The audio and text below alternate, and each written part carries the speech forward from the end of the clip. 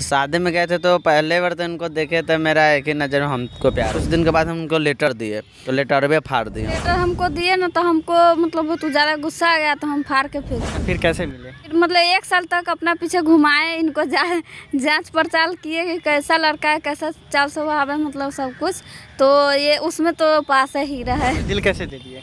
दिल तो अपने आप चला जाता है क्योंकि अच्छा आदमी रहता है तो उस पर मिठू मार्शल देते थे इसलिए लिखते थे क्योंकि जब भी ये नाम पढ़ेगी तो मेरा चेहरा ऑटोमेटिक आ जाएगा इसके माइंड में। अच्छा माइंड जी सही बात है। जब भी इनका नाम हम पढ़ते थे तो इन, मतलब इनका चेहरा मेरे माइंड में मतलब आ जाता आ जाता था। जी खासा मतलब परिवार से बिलोंग करते हम तो बहुत गरीब परिवार से क्योंकि बहुत हमारे पापा जी मजदूरी करते तो सोच सकते कितना बहुत ज़्यादा कष्ट है फिर भी मेरे पास आकर रह रही है। मतलब दिल दे दिए इसलिए यहाँ पर आके रहना मजबूरी। हो जी। घर में आए तो घर परिवार लोग आपको एक्सेप्ट कर लिए जी जी कर लिए क्योंकि इतना सुंदर पत्नी है तो घर के मम्मी क्या अच्छा शादी कैसे की? छह साल लगभग बातचीत किए फ़ोन पे सतवा साल शादी की है। कैसे बात कर रहे थे? प्यार कर रहे थे इसलिए बात कर रहे थे। और इतना लंबा समय इंतज़ार करना पड़ा? जी जिसे प्यार के उसी से शादी की। खुश हैं? हाँ खुश है बस आर्थिक स्थिति कम। तो सासू माँ मानते हैं कि नहीं? जी बहुत मानते हैं। ससुर जी?